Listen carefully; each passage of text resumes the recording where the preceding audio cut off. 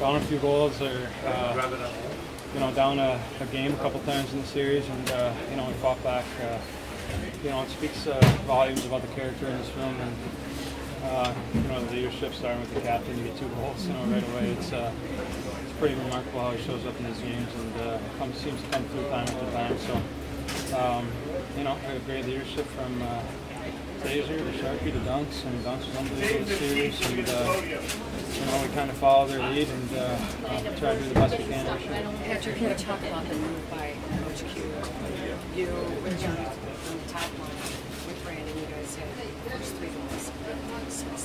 Yeah, I mean, it was, uh, um, you know, one of those things where we knew we'd be playing against Getzlaf, so we try to stay uh, responsible defensively and, uh, you know, try to keep the puck away from them too. So you know it was a great start to get a goal the first shift, and uh, you know we got another one on the power play, and then um, you know Sauter to, to give us a three nothing lead, and then Hosty gave us a four nothing lead. So we were feeling pretty good at that at that point. We knew they were going to have a push.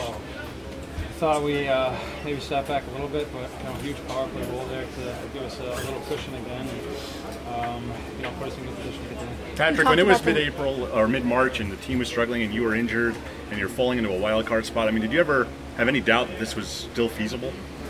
Not really. Um, you know, you're going to have lulls throughout the regular season. It's uh, it's a long season. Um, you know, uh, you're not going to be at your best for 82 straight games. So, um, you know, you're going to have ups and downs. I thought the team did a great job when I was first out, and then, um, you know, I just tried to get back as, uh, as quick as possible. And, uh, um, you know, luckily enough, I was able to, to join the playoffs. And, you know, when I came back from playoffs, it wasn't like I was supposed to be, you know, coming back and, and uh, you know, being the savior. I was coming back into, uh, a good role where I can kind of get myself into it and, um, you know, try to help any way possible. You mentioned the